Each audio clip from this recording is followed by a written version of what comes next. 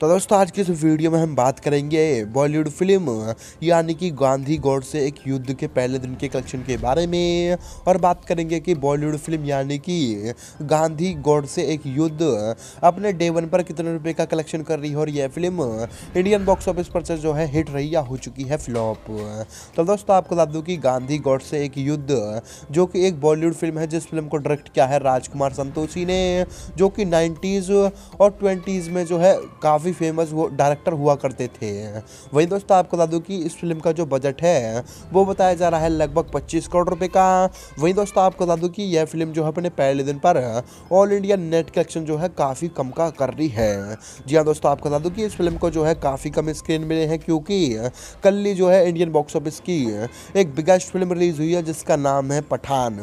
वहीं दोस्तों आपको बता दूँ कि पठान फ़िल्म को जो है ऑल इंडिया में काफ़ी तगड़े स्क्रीन मिले हैं, जिसके चलते उस फ़िल्म के शोज़ भी काफ़ी ज़्यादा हैं और इस फ़िल्म को स्क्रीन भी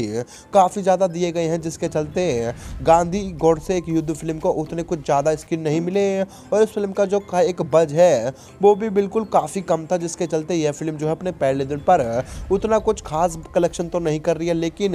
एक तरह से अगर देखा जाए तो यह फ़िल्म अपने पहले दिन डिसेंट कलेक्शन कर रही है। जी हाँ दोस्तों, आपको बता दूँ कि गांधी गौड से एक युद्ध अपने पहले दिन जो है all India total net collection कर रही है, लगभग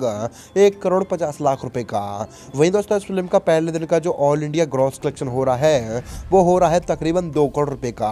और दोस्तों, अगर इस फ़िल्म को अच्छा वर्ड ऑफ़ माउथ मिलता है, और यह फ़िल्म जो है ऑडियंस को पसंद आ जाती है तो यह फ़िल्म लाइफ टाइम में जो है एक अच्छी खासी कमाई कर सकती है। हालाँकि दोस्तों बताओ कि अगर आपने यह फ़िल्म देखी तो आपको ये फ़िल्म कैसी लगी, हमें प्यार कमेंट बॉक्स में ज़रूर बताएँ। साथ ही साथ दोस्तों, आप भी बताओ कि आपको क्या लगता है कि इस फ़िल्म का जो लाइफ टाइम कलेक्शन है, वो कितने रुपए का होगा, और यह फ़िल्म बॉक्स ऑफ़िस पर हिट हो पाएगी रह जाएगी फ्लॉप हमें प्यार कमेंट बॉक्स में ज़रूर बताओ